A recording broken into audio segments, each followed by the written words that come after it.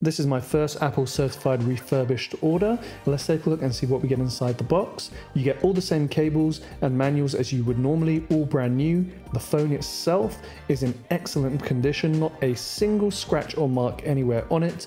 Battery health is showing at 100%. So would I use Apple certified refurbished again? Absolutely.